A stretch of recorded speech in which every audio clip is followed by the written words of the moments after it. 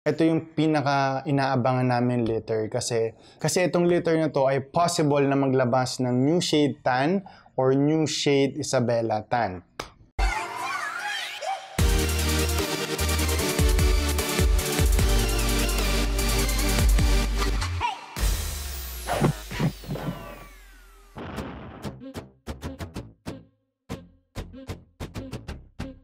Hi guys! Welcome back to my channel. So before we start, don't forget to like and subscribe. So bibigay ko kayo ng 5 seconds. Hit nyo yung red button na subscribe dyan. Pati yung notification bell para lagi kayong updated sa mga French content natin. And hit nyo na rin please yung uh, like button para alam ng YouTube na gusto nyo yung mga French content na ganito. Okay, so this vlog is all about our upcoming litter. So syempre, ng ating kennel na trap bullies. So ito, litter to ni Gohan and ni Doja. So guys, itong litter na to, ito yung pinaka inaabangan namin litter kasi kasi itong litter na to ay possible na maglabas ng new shade tan or new shade Isabella tan. So before we start, alamin muna natin kung anong DNA ni Gohan at anong DNA ni Doja. So si Gohan, ang DNA niya, Choco Tan Quad kasi carrier siya ng uh, cream, and Keris Isabella. No Pied, no Brindle. Si Doja din, Chokutan, Isabella Carrier, pero walang cream. So bakit importante yung walang cream? Sinadya ko talaga na ang dam na ipapartner ko kay Gohan ay walang cream. Bakit? Kasi ayoko naman na new shade nga siya pero covered siya in cream. So magiging platinum. So sayang naman yung pagiging new shade niya kasi makikita mo yun sa, ano, sa phenotype ng aso eh mako-cover lang siya in cream. So, alamin na din natin kung ano yung new shade and new shade Isabella.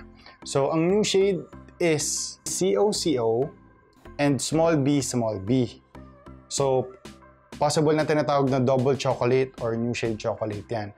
Yung, yung new shade Isabella naman ay meron lang siyang blue. So, COCO uh, small b, small b, and then small d, small d. Kaya mas mahirap siya kasi mayroon pa siyang kailangan na kasamang blue.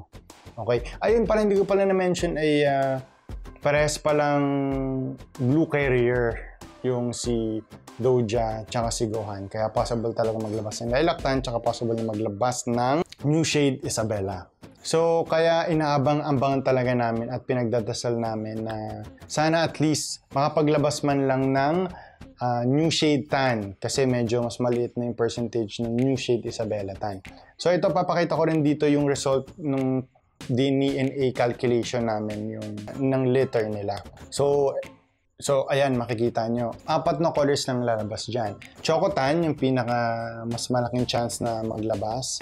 Lilac tan, ito, new, yung lilac tan and yung new shade tan, magkaparehas ng percentage, kita nyo. Tapos yung last na color, ay yung pinaka least na possible na, na lumabas na Isabella uh, na new shade Isabella. Kaya din inaabangan namin tong litter nito kasi I think ah, I'm not really sure pero I think if maka, if makapaglabas kami ng new shade tan and new shade Isabella tan yung trap bullies ang pinakaunang makakapag-produce ng island-born na new shade tan or new shade Isabella tan dito sa Philippines. Kasi I think yung new shade tan or mga new shade Isabella tan ay lahat pa ay galing import.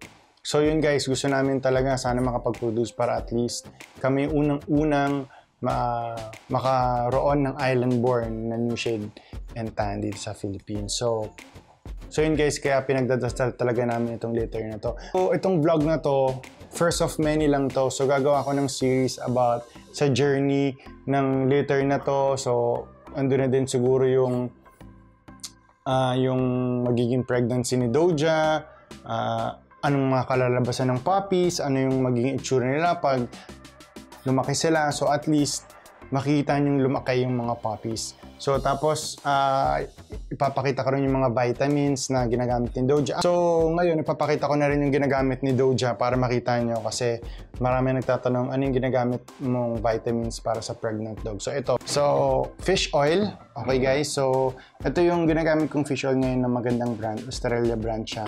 Huwag nyo naman guys ubusin na kasi baka onti lang to sa Shopee pero ito lang, ito lang yung ginagamit. Tapos of course Nutrich yan. And then, Puppy OB. Ayan.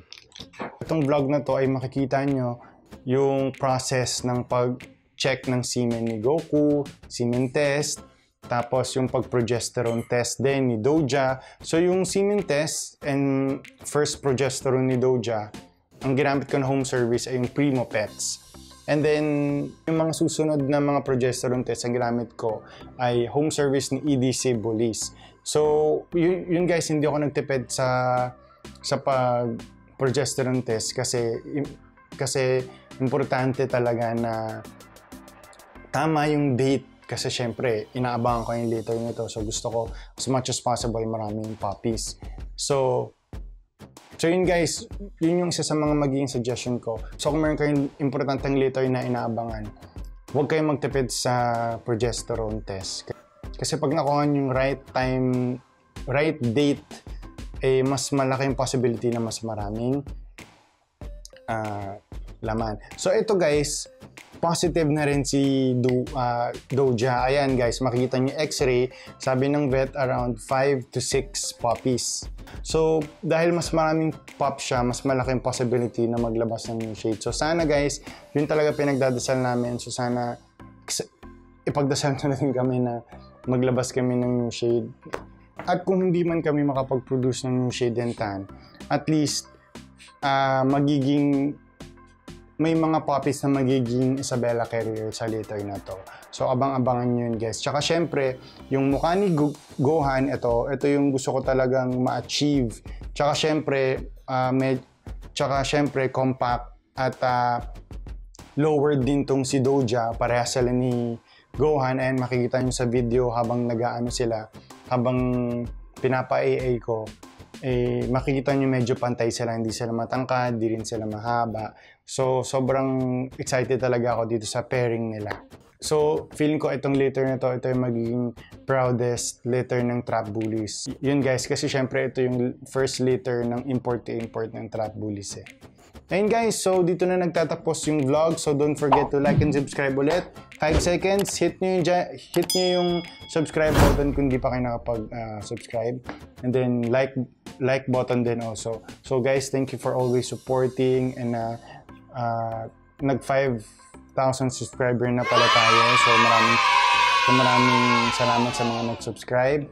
At uh, soon guys, uh, magkakaroon tayo ng maraming giveaway lagi nyo check yung mga videos natin para lagi kayong updated. So, thank you guys for watching. Uh, sana nag-enjoy kayo at abangan nyo tong later na to. Promise, uh, maganda to. Thank you so much. Peace. Thank you.